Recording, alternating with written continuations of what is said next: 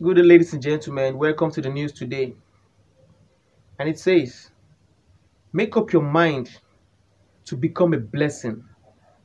Selfish living is a recipe for frustration. Put a smile on someone's face today. Help in every little way you can. You might just be saving a life.